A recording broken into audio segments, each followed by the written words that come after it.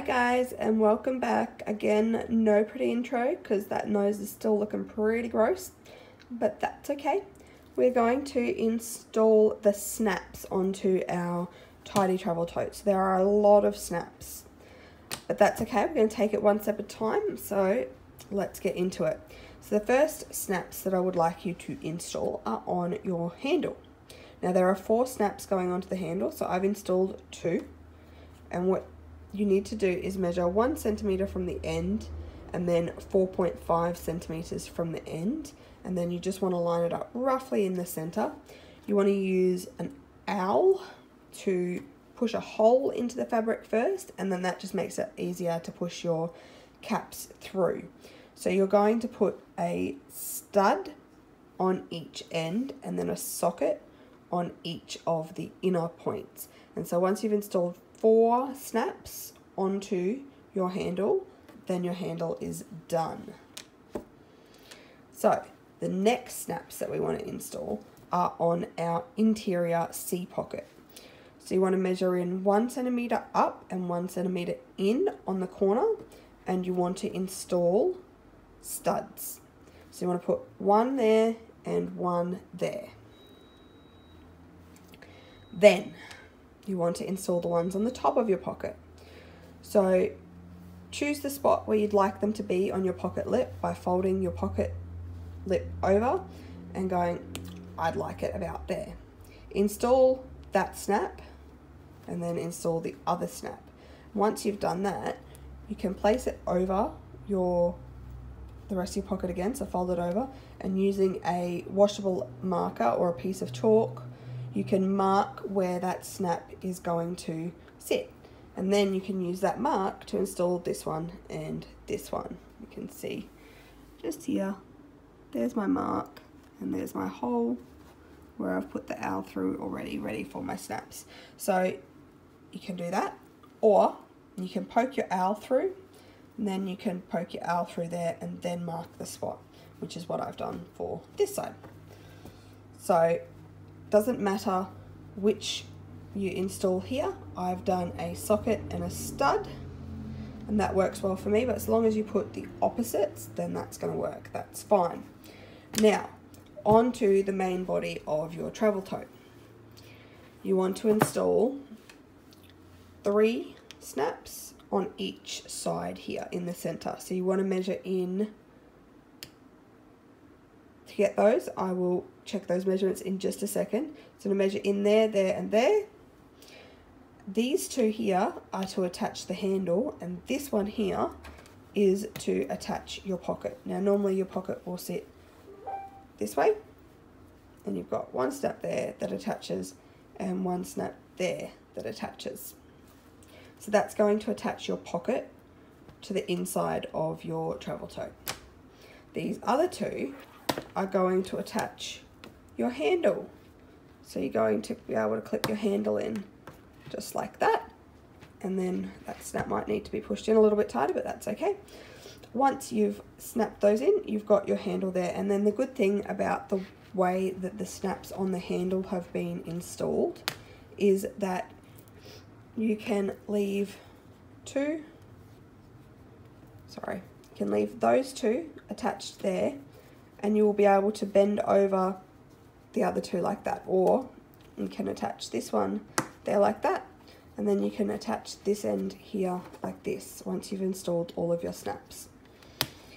And that just gives you like a little little carry handle there instead of having to have this handle or you can have this handle but it doesn't matter. Once you've installed all the snaps you've got the choices. So you can attach it to your trolley or your pram or your backpack whatever you're carrying. All right so the next snaps that we want to install, we want to measure here. We want to measure in 1.5 centimeters and 3 centimeters and you want to install those two snaps there.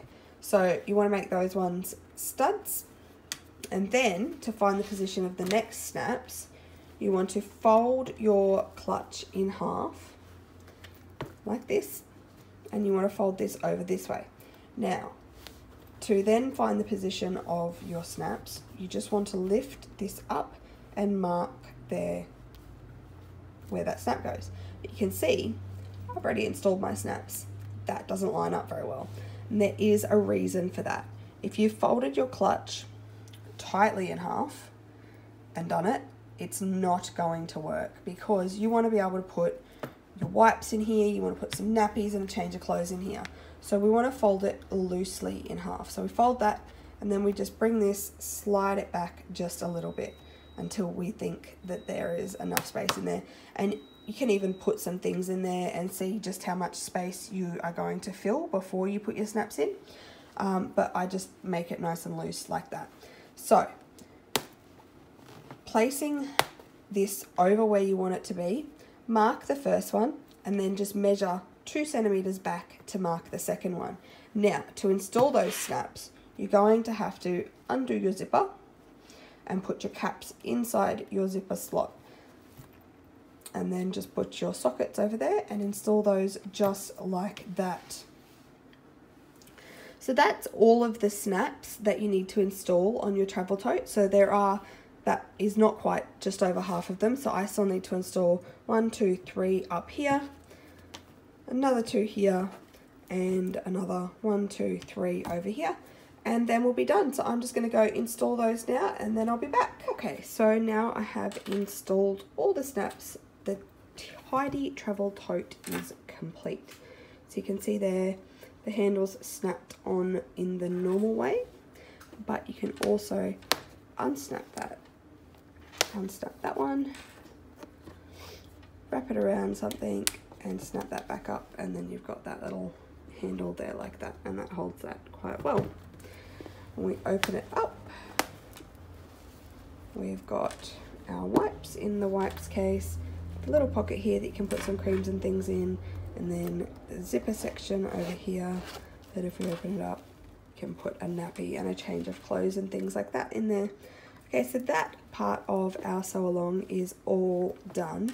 Now we're going to make a matching change mat to go into the back pocket here. Okay, so the change mat at the back of the pattern is just a really simple basic thing that's going to fold up and fit into that back B pocket of your tidy travel tote. So you just want two pieces of fabric that are 42 centimeters by 61 centimeters and we're just going to place them right sides together and then once we've done that we're going to sew around the entire perimeter leaving about a 5 centimeter gap for turning it out the right way. Alright, so once you've sewn around the two pieces of fabric, you want to snip off your corners and then you want to use this turning gap that you've left to turn your change mat inside out. Once you've done that, you want to press the seam allowance around the turning gap so that it's nice and flush with the edges and then we want to top stitch. Okay, so once you have top stitched around the edge of your change mat, you are all done. So we've got our completed TTT and our completed change mat. Now this change mat does fold up and fit in the back of the pocket of the TTT quite nicely. So thank you everybody for joining me. It's been loads of fun. If you haven't already, I would love for you to join the Flosstyle Fair group. I will post the link to that in the comments. And once you've joined the group, if you've joined in on the sew along and you've finished your TTT, I'd really love to see a photo of your finished TTT up on the group. And if you find the album and share a photo in the album, there's a heap of awesome prizes for everybody who uploads their photos to the album before next Sunday. So you've still got a whole extra week to get your TTT finished. But once you have, it would be really great if you could share those photos and then you'll go into the draw to win some awesome prizes. So thanks everybody and I hope you've enjoyed it. Uh, once you've joined the group too, you can let me know what pattern you'd like me to do for the next sew along. Thank you. Bye-bye.